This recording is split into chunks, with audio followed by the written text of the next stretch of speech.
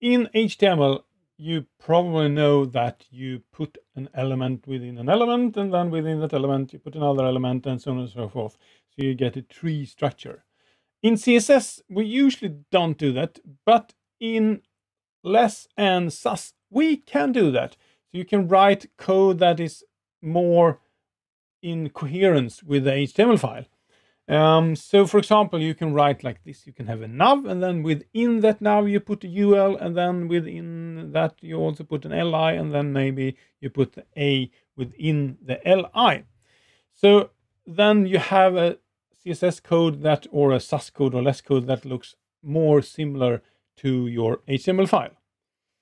And you can actually also reference the parent, um, and here they use the same syntax. Um, they use the ampersand. So if you write like this, A, and then set the color to blue, and then you can write uh, the ampersand colon hover. Uh, then you set the hover state for the A tag, and then you can change the color there, for example. Um, then it might be tempting to kind of write HTML and then you write all the element, but then you will get a fairly complex and super big CSS file. So the rule of thumb says that never nest more than four levels.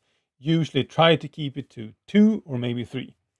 Um, because otherwise you will get a really huge CSS file. Because what happens is that it will, when it transcodes the CSS file um, or into a CSS file, you will have all these nested after each other. So you get super complex uh, rules.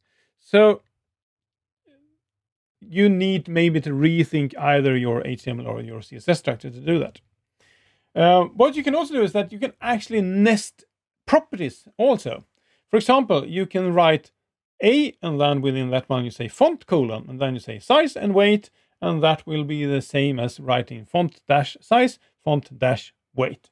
So you can nest properties that have kind of the first uh, word the same. Um, so let's try to work with this a little bit. So let's create the basic menu structure in the HTML file.